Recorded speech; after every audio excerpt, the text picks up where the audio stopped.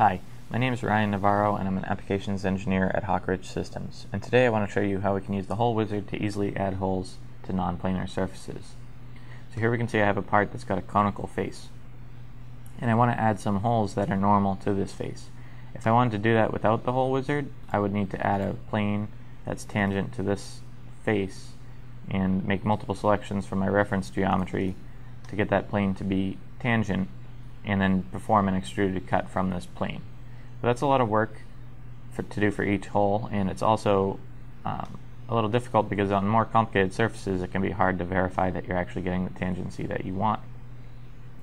So as an alternative to this, we can just use the hole wizard, and as long as I'm not pre-selecting any faces, I'll have the ability to click into a 3D sketch here under my Positions tab in the hole wizard. And when I click into 3D Sketch, you'll see that wherever I mouse over, I'm getting a preview showing me that my hole will be normal to the surface I'm placing it on.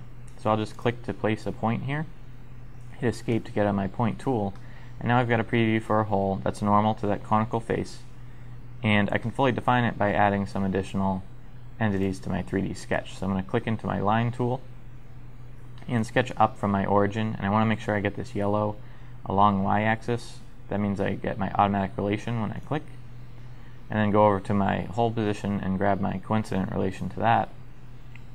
And then I'm just going to select this line, make it along my x-axis. And now we can see if I move this line around, I've got it constrained in a way where I only need to add a dimension to fully define this. So I'll add a height of 30 millimeters. And now I can set the size and end condition I want. I'm going to make this hole 12 millimeters. And we can see that my hole is perfectly normal to that conical face. Now that one was easy because it was in line with the origin, but we can use the same technique even if we're going to be off to the side.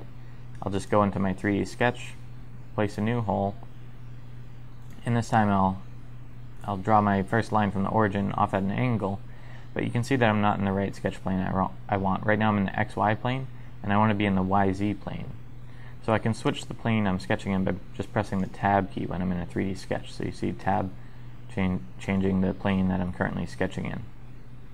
So I'll sketch off in the YZ to an angle, and then over to my hole location and grab that coincident relationship. And I've got a little too many degrees of freedom here to easily position this. So I want to hold control and select my first line and my front face of my part and make those an on-plane relation. So now my line is constricted to that plane. And then I'll apply the same along x axis to this other line. And now it's it's constrained in a way that I can just add an overall height dimension as well as an angle to position this line. So I'll add a center line vertical so that way I can add an angle over to my second hole and I'll make this 35 degrees. Now we can see we have that fully defined. I can go back to my type tab and I'll change this one down to a 9 millimeter. So we can see we've got two holes normal to our conical face and we can easily pattern those around our part if we want by just doing a circular pattern, selecting a circular edge, and the features we want to pattern.